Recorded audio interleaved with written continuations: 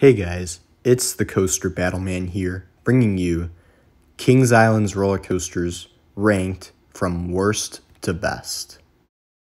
Number 14 is the Great Pumpkin Coaster. It's pretty small, so it's not really worth getting the credit on it. But if you have a smaller child in your party, then I would recommend this coaster. At number 13 is Woodstock Express. This coaster has been at Kings Island since Kings Island opened and it's a pretty nice, smaller, classic family wooden coaster, but the trains are pretty small. At number 12 is Flying Ace Aerial Chase. It's not as bad as people make it out to be. It's an okay coaster.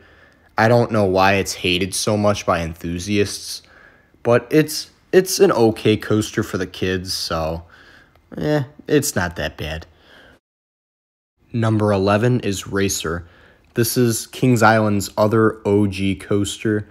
It's a classic, and it's pretty decent when dueling, but can be pretty rough at times, and it's not nearly as fun unless you're dueling.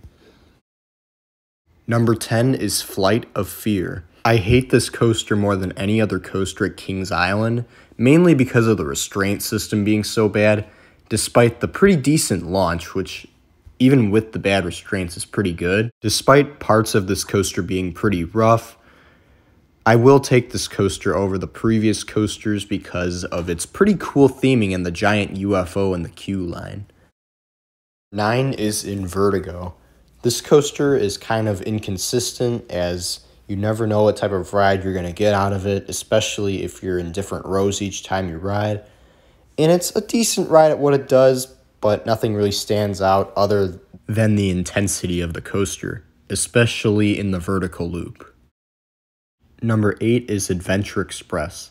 This coaster is a very solid mine train, and despite its poor ending right after that really well themed lift hill, this coaster is a very fun family coaster experience, and it's just a very solid ride at Kings Island.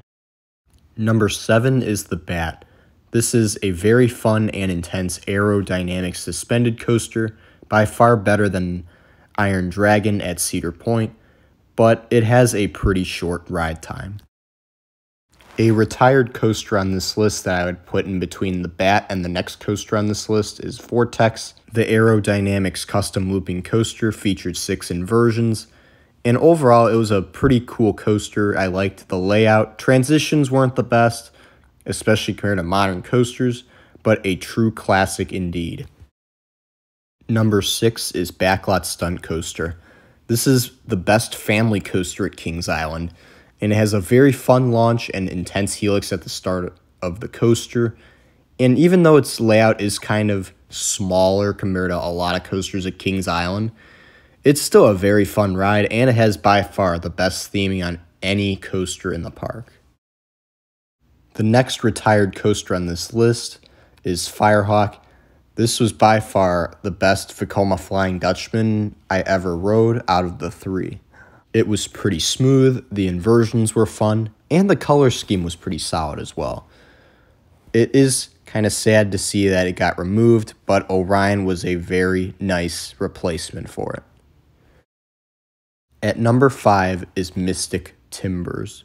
This coaster really solidified Kings Island's wooden coaster lineup. It's a very intense terrain based wooden coaster. It has a ton of airtime hills, but they don't have the best airtime due to the restraint system. But if you can get airtime on them, it's pretty awesome. It's a very well rounded GCI Woody, and the shed is a pretty interesting feature. Number four is Banshee. This is a very unique B&M invert, not only because it has vest restraints like the B&M Wing Coasters and Valravn, but also it has a very drawn out layout compared to all the other inverts, which are known for having very compact layouts. Also, it has a pretty cool theme present as it pays tribute to old Kings Island attractions, and it has a pretty cool looking station. Number three is the Beast. This coaster is an absolute legend. It has a phenomenal night ride. It uses the terrain to its advantage, and it has a five minute ride time. This coaster may not have the strongest layout in the world, but it is just an absolute adventure as you fly at high speeds through the terrain. At number two is Orion. This is a very picturesque Giga coaster and has a very unique layout. It has very good turns and airtime hills, and I would say the only weakness of this coaster is the ride time. This coaster is a lot shorter than its other Cedar Fair counterparts, with the exception of Leviathan. At number one is Diamondback. This coaster is by far the best coaster at Kings Island, in my opinion. This coaster features tons of airtime with some twists in the layout as well. It's not like a Raging Bull where it's so radically twisty, but I would put it more into the same boat as Mega, where there are some really solid twists in there, but it's a very airtime based ride. It's very smooth, very long, and the water splashdown is a very nice feature. That was my list of the Kings Island roller coasters ranked from worst to best. Hope you enjoyed. Thank you for watching. Stay tuned for more videos.